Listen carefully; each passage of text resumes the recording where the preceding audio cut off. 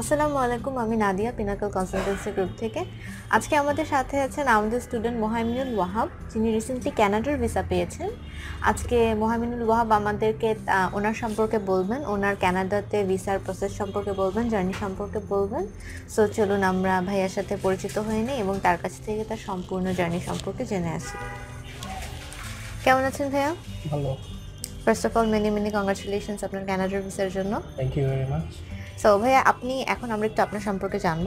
আপনি যদি ফার্স্টে আমাদেরকে একটু বলেন যে আপনি এত কান্ট্রি থাকতে কেন কানাডাকেই আপনার কান্ট্রি হিসাবে চুজ করলেন? Multicultural society, friendly environment. These are the reason I choose Canada over other countries. আরেকটা জিনিস হচ্ছে এখানের ইউনিভার্সিটিগুলো টিউশন ফি অনেক কম। তুলনামূলকভাবে Australian university this is the reason I choose Canada over Australia and other countries okay so এখন আমরা একটু জানতে চাচ্ছি যে আপনার একাডেমিক ব্যাকগ্রাউন্ড কি ছিল I did my O level in 2006-7 session. Then 2008 and 9 I did my A levels. Then I graduated from Norfolk University with accounting, finance and marketing major. Okay And then I was in Nafis Plastic. And after that I applied for the visa. ওকে আপনি ITS করেছিলেন আপনার GIS করেছিলাম। Score Uh, my score was 6.5 but uh, my speaking was 7.5 and reading I got 7. But unfortunately our writing আর listening to একটু problem ছিল so that's why it was 6.5. Okay overall six point five চলে এসছে এভারেজে ওকে আপনি কোন ইউনিভার্সিটিতে যাচ্ছেন কানাডার আমি যাচ্ছি ফেয়ারলি ডিকসন ডিকেনসন ইউনিভার্সিটিতে এটা ভ্যাঙ্কিউভারে specialised in global administration and leadership programme okay আপনি কোন ইনটেকের জন্য যাচ্ছেন? আমি জানুয়ারি টোয়েন্টি টোয়েন্টি ইনটেকের জন্য যাচ্ছি। জানুয়ারি টু থাউজেন্ড টোয়েন্টি ইনটেকের জন্য যাচ্ছেন ওকে সো আপনি যে হোল প্রসেসিংটা করলেন কানাডার জন্য আপনার টাইম কত লাগল? আমার এটার জন্য সিক্স মান্থের মতো প্রায় লাগছে. আই হ্যাভ আমার অনেকগুলো দলিল ছিল আব্বা আম্মার। হুম। Then I have to translate those thing and I have to make everything মানে আমি কানাডার জন্য যখন কাজ করা শুরু করছি আমি ধীরে ধীরে কাজ করতেছিলাম but I make sure that every document is clear authentic and I don't have any problem okay okay so যেহেতু আপনার একটা এক্সপিরিয়েন্স আছে আপনি যেহেতু একটা প্রসেসিং করলেন সো যারা নেক্সট স্টুডেন্ট যারা যেতে চাচ্ছে ক্যানাডাতে ইন্টারেস্টেড বা বাইরে যেতে চাচ্ছে তাদেরকে কি আপনি কোনো অ্যাডভাইস বা সাজেশন দিতে চান? অ্যাডভাইস এন্ড সাজেশন হচ্ছে go for good band score for hmm. ভালো ইউনিভার্সিটি ট্রাই করবেন। এবং ওই ইউনিভার্সিটিগুলো ট্রাই করবেন যেটা আপনার প্রোফাইলের সাথে ম্যাচ করে।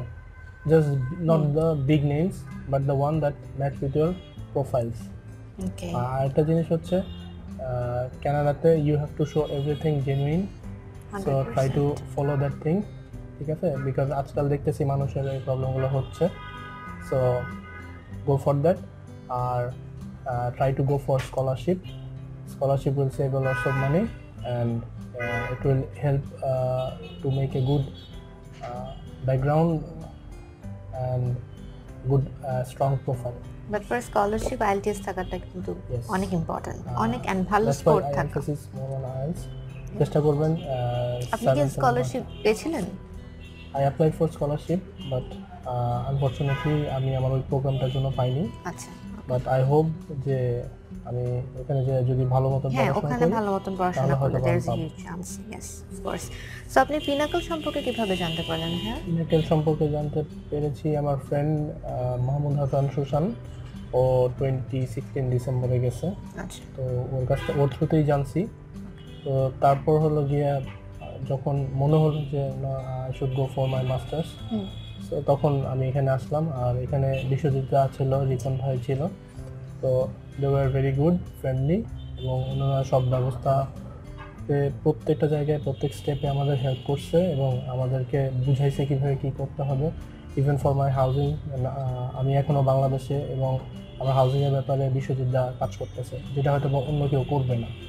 সো আই গাট অ্যান্ড আমার মনে হলো যে they are very much friendly and more like a family thank you thank you so much and thank you so much ভাই, আমাদেরকে টাইম দেওয়ার জন্য। So wish you all the best for your future and thank you আপনাদেরকে আমাদের সাথে এতক্ষণ থাকার জন্য। আশা করি ভিডিওটি আপনাদের ভালো লেগেছে। যদি আপনাদের কোনো কোয়ারিজ থাকে, তাহলে আমাদেরকে কমেন্ট করে জানাতে পারেন। অ্যান্ড আমাদের কোনো আপডেট মিস না করতে চাইলে আমাদের সাথে সাবস্ক্রাইব করুন এবং নোটিফিকেশন বেলটি হিট করে রাখুন। আপনাদের সাথে নেক্সট টাইম আবারও দেখা হবে অন্য কোনো স্টুডেন্ট সাকসেস স্টোরি নিয়ে বা অন্য কোনো ভিডিওতে ততক্ষণ পর্যন্ত ভালো থাকবেন। আল্লাহ হাফেজ।